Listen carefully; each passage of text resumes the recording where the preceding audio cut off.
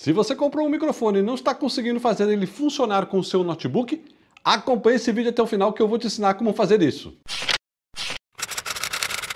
Muito bem, então eu vou trazer para vocês um passo a passo mostrando como ligar três tipos diferentes de microfones em um notebook. Inicialmente eu vou explicar para vocês como é que vocês ligam um microfone de conexão do tipo P2. Na sequência eu vou explicar como você liga um microfone do tipo USB e por fim vou explicar como você liga um microfone que tenha conexão XLR. Então já começando nosso tutorial com os microfones do tipo P2, é importante que você observe o seguinte, o microfone ele tem que ser do tipo P2, esse que tem aí, entre aspas, dois risquinhos, que é do tipo de conexão TRS. Então, para esse tipo de microfone que eu estou fazendo. O detalhe que você vai ter que observar no seu notebook é ver se ele possui duas ou se ele possui uma única entrada P2. Se o seu notebook tiver duas entradas P2, ou seja, uma entrada para fone e outra entrada para microfone, basta apenas você ligar o seu microfone de plug P2 na entrada de microfone e o seu notebook já vai estar reconhecendo este microfone. Por outro lado, se você tem um notebook que tem apenas uma única entrada que é compartilhada entre fone e microfone, então na verdade essa entrada que você está vendo no notebook é uma entrada do tipo que nós chamamos popularmente de P3 ou uma entrada TRRS. Perfeito, então nessa situação em que seu notebook tem apenas uma única entrada, você vai ter que utilizar um adaptador que eu chamo de adaptador de P2 para P3 combo, ou adaptador de TRS para TRRS. Legal, então como eu já falei, você vai precisar então desse adaptador. Para quê? Para ligar o seu microfone na entrada de microfone sinalizada nesse adaptador e em seguida você vai ligar então o adaptador no seu notebook. Depois que você instalou o microfone no seu notebook, o próximo passo é você verificar nas configurações de som se o microfone foi reconhecido. E para isso você vai lá no seu Windows, vai na bandeja no canto inferior direito, clica com o botão direito sobre o ícone do microfone, do alto-falante e abre as configurações de som. Ao abrir as configurações de som, você vai ter essa tela chamada som, você vai ver ali então o microfone. Você faz o teste então do microfone, falando no microfone e vendo se realmente o áudio está saindo. Caso o áudio não esteja saindo, você vai ter que vir aqui no lado direito da tela, clicar nesse link azul chamado painel de controle de som, vai abrir as configurações ou as propriedades de som e para verificar se o drive está realmente instalado, você vai na aba gravação e vai procurar ali onde está escrito grupo de microfones. Ali tem que estar escrito Realtek Audio Device ou então Via Audio Device ou High Definition Audio. Esses são os três tipos de drivers de microfones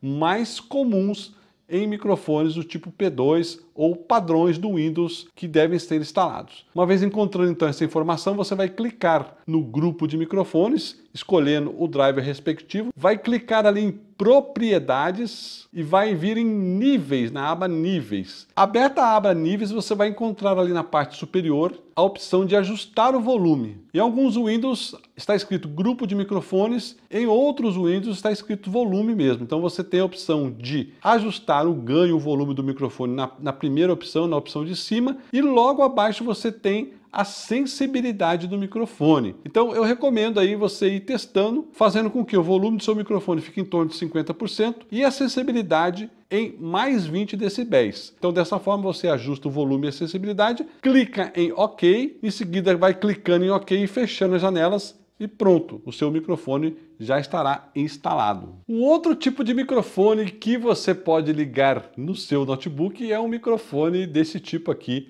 um microfone USB. Esse aqui é mais fácil as configurações dele, porque basta você plugar o cabo USB na saída desse microfone e em seguida a outra parte, a outra extremidade do cabo, você vai plugar lá na entrada USB do seu notebook. E em geral os microfones do tipo USB são plug and play, ou seja, basta você conectá-lo no seu notebook, o seu notebook vai reconhecê-lo e já vai instalar os drivers correspondentes ao modelo do seu notebook. Caso o seu notebook não faça isso, você vai ter que ir no site do fabricante e lá com certeza haverá uma opção para você fazer o download do driver do modelo do seu microfone, que pode ser para o Windows e para o Mac. O próximo passo é você conferir realmente ver se o seu microfone está corretamente instalado no seu Windows, seguindo aquele passo a passo com o botão direito no alto-falante até chegar na caixa de propriedades, verificar na aba de gravação se realmente o nome do seu microfone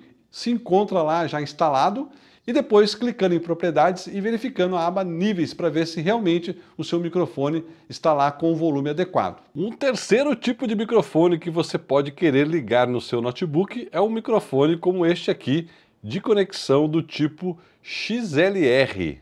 Você pode encontrar conexões XLR em microfones desse tipo, microfone dinâmico, como esse microfone da Behringer, ou então você pode encontrar também conexão XLR em microfones do tipo condensador, como este AT2020 da Audio-Técnica. E para ligar um microfone XLR no seu notebook, você vai precisar, obviamente, do microfone, vai precisar de um cabo que seja do tipo XLR macho, e XLR fêmea. E por fim você vai precisar de uma interface de áudio como esta aqui, é uma interface do tipo USB. Esta aqui é a Uforia UM2, que tem review aqui no canal. E você vai ligar essa interface no seu computador, no seu notebook, via cabo USB, que vai ser conectado aqui nesta parte de trás. Então a conexão no seu notebook vai ser feita da seguinte forma, você vai pegar o microfone e na conexão macho do microfone você vai colocar a extremidade fêmea do cabo XLR. A outra parte que é a ponta XLR macho, você vai colocar na sua interface de áudio, na sua interface de áudio, na entrada correspondente, como vocês podem estar vendo aí, que é bem na frente no caso desta interface da Uforia. Em seguida você vai ligar o cabo USB na parte de trás da sua interface e na sequência liga o cabo USB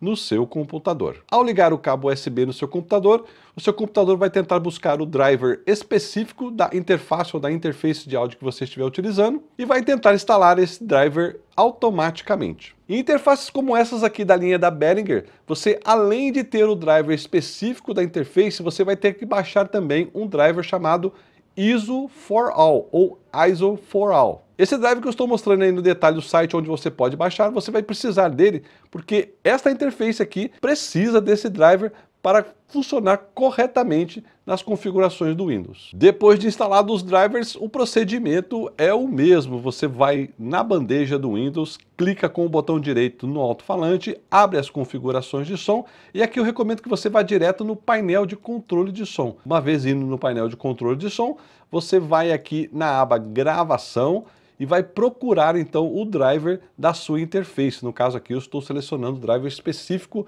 da minha Uforia UM2. Você clica na opção da interface, define como padrão, vai em propriedades e vai em níveis. E dependendo da interface, você vai ter o controle de volume ou não. Alguns modelos permitem você controlar o volume tanto no Windows quanto aqui, Outros modelos só vão permitir você controlar o volume no corpo da interface. Realizadas todas essas conexões, o seu microfone já estará pronto para ser utilizado com o seu notebook e você vai poder desfrutar do seu microfone para fazer lives, para fazer podcasts e até canto. Beleza? Então agora presta atenção no recado que eu vou deixar para vocês. Aqui no final do vídeo, nas telas finais, bem como na descrição desse vídeo, eu estou deixando os links para vídeos de outras playlists aqui do canal, bem legais falando sobre microfone. A primeira playlist falando sobre os microfones da Boya e a segunda playlist falando sobre microfones de lapela. Você pode clicar aqui na descrição ou na tela final